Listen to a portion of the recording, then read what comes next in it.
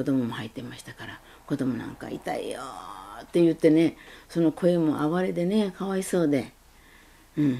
それで水ちょうだいって言って言ってますから少しずつ水飲ましてあげたりね、うん、そういうふうなことやってましたね。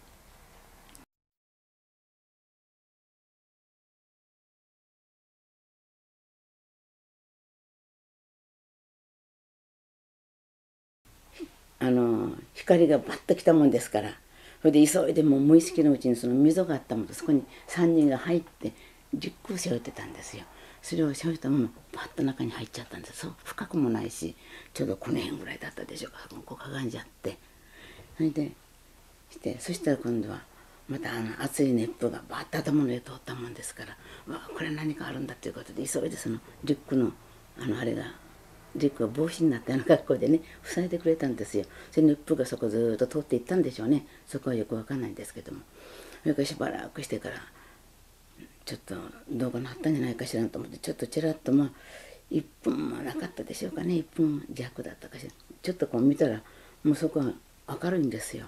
それでいつも来てるとこだから分かるからと思ってこうして開けてみたらもう何もないような格好で遠くの方へそれこそあの飛行機 B29 ですか？それが行ってんのがねあのあれが聞こえるんですよあの音が。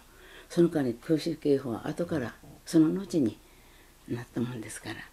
それからこの這い上がって上に上がってそうしてこうちょっと何があったんだろうと思ってじっとしてたら兵隊さんが下の方から一人ね「あら今何かあったんですか?」って聞いたのね。そしたら「新兵器のねあの空中爆雷ですよ」と。おっしゃったもんだから「ああそうですか」って言ったらもうそうあの兵隊さんもやっぱり慌てたんでしょたったたったまた山の方へ登っていかれたんです。はい。そうこうしてる間にも私なんかもう帰らんと家がどうなってるか分かんないからということでじゃあ帰ろうということでこう降りて帰ったわけです。そしてそこに今度はあの高校中学生ですよね。あれ長中かなんかだったと思う。長崎中長中のね3人ほどこう上がってきたらいいんだけどもうなんとか疲れ切った表情でねもう憔悴しきってるんですよね。でこうして3人がとことこ上がってくるもんだからもう言葉にならない。もう彼彼たちもこうなんか疲れ切った表情だったからまあ聞くわけにもいかない人もそこは下の方にずっと下ってきました。今度23人他の人と会ったんですよ。その人なんかもやっぱそんなふうなねあの青白く見えたわけですよ。それでまた行ってる間に今度一人今度あのまた学生が上がってきましてあのそこにあの灰のからってましたね。灰のからって、えー、それから手にはなんかあの鍋とか釜を持って紐でくくってあったですね。それであの教科書をこうして持ってましたから。それでも血がこうこの辺こびりついてるわけですよ。それで顔真っ黒くなっちゃってね。はあと思ってね。そんなにひどい新兵器だったのかしらと思ってそういう帰る前あの帰りながら話しながらおばと一緒に早く帰ろうっていうことで帰ったんです。そしたら家の方は上小島にあのおばの家があるんですおばあさんの家が。そこ行ったらもう建具がね 瓦は飛ぶし建具はもうあっちこっちで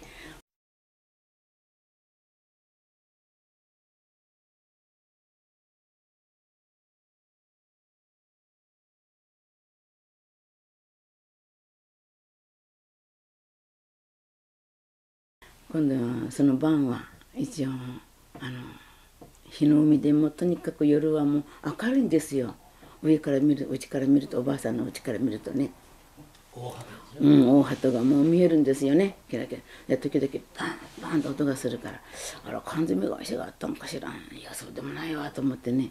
私もたまにほら硫黄島帰るもんですから。でもちろんその日はもう帰れないし船もダメだし。っていうことで、うん、だからおばあさんとかにもいたわけですよね。そんなの。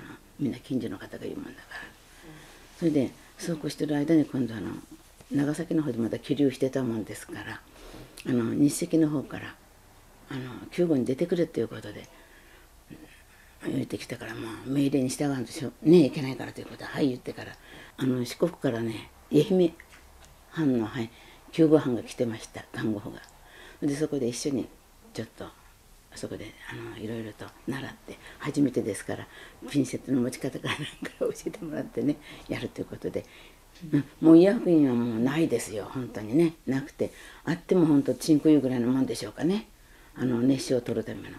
それとかまあ薬はあんまないし、うん、ということで。もう本当に何て言っていいのかな。まあむしろこうかけられたような格好でしたよねみんなね。むしろ下に敷いてあるし、うん、それでもうその患者さん自体は顔がもう血みどろでしょみんな。それでこの辺が真っ白くなってね。それで着物だってもうほこりまみれですからね。それがこう重なったような格好でね、うん、休んでましてね。それで傷の手当てっていう手当てもあんまりしてなかったですね。いた時にも。う寝てるのが。水くれ水くれが多くて。そのような状態でね。そこにまあ10日ぐらいいたでしょうか。そして今度は新興殿ご存知ですか？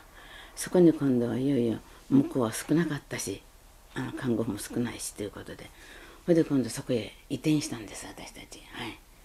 10人ぐらいだったでしょうか行ったのが。うん。そこではまああの簡単な血液検査するしあの医薬品は少し揃ってましたよね。そのからやっぱしあのなんか長崎交渉と同じようにむしろの上にみんな寝てるわけです。ね。血みどろになっちゃったりしてね。それでもう目もとろんとしちゃってからね、うん、大変でしたけどね。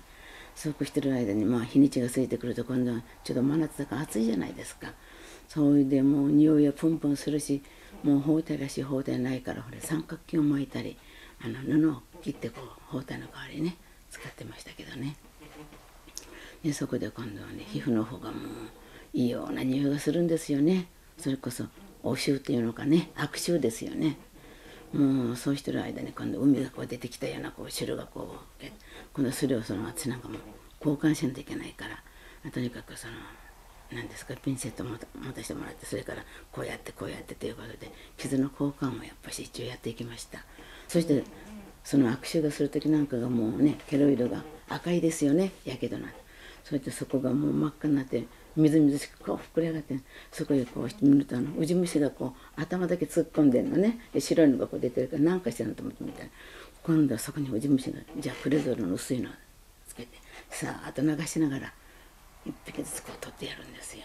でそれを今度消毒液でクレゾルの消毒液で。それからこのまたきれいな拭いてガーゼを当ててやってでその時には少し包帯なんかも少しありましたからね。それでやった。状態ですよね。やっぱ子供も入ってましたから子供なんか痛いよって言ってねその声も哀れでねかわいそうで。うん。それで水ちょうだいって言って言ってますから少しずつ水飲ましてあげたりね。うん。そういうふうなことやってましたね。やっぱりあの熱傷があるし熱はあるしで部屋の中暑いもんだから亡くなる方も多かったですね。はい、それで亡くなる方の市役所の人でしょうかあれはねあの荷車持ってきてからあのやっぱり作業服着てますよね軍服みたいな顔ちょっとあれ。それに今度は死体がそこにこう置いてたら来てからもうその中に入れるんです23人で抱えてはそのねあの荷車みたいなとこに入れてそれであの広いあの広場の連れて行ってそこであのねあれ昇降するような格好であの仮装してね行ったんですけどね、うん、そういう。